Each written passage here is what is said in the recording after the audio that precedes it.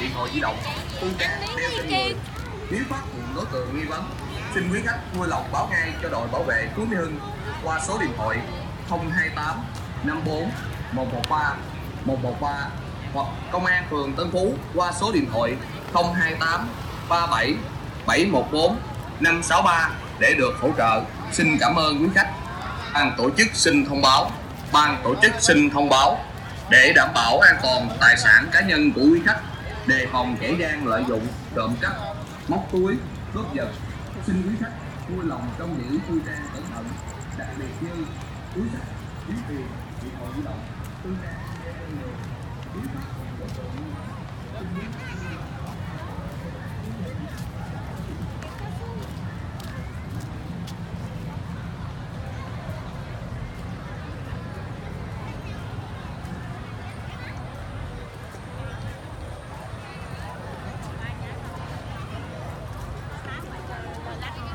chơi rồi nó máu quậy cam bao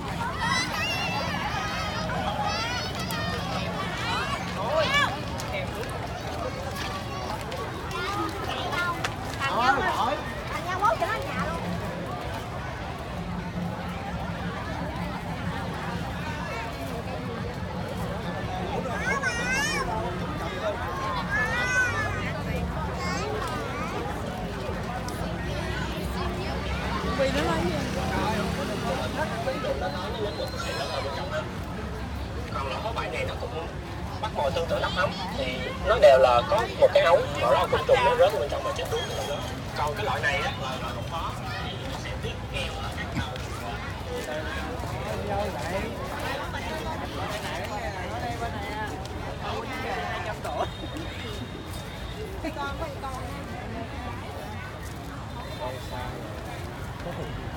Có cái me đó.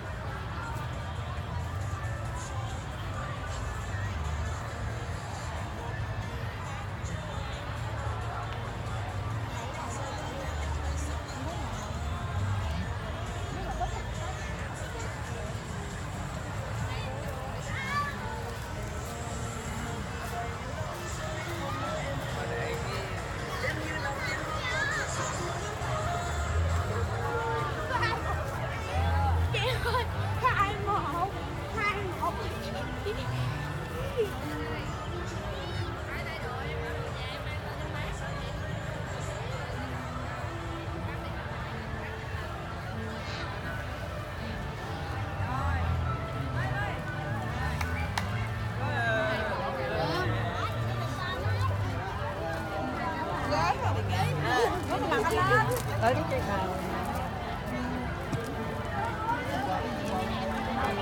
này nhiêu em? Nó chưa có nổi cái này cái này bây giờ sao? Mấy lớp?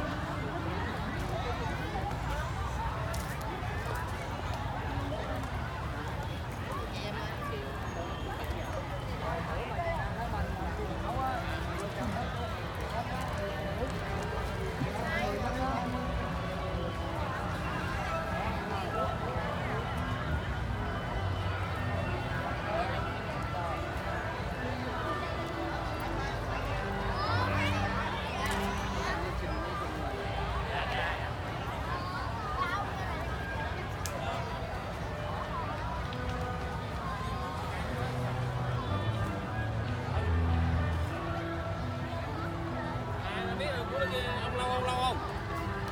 Lâu không?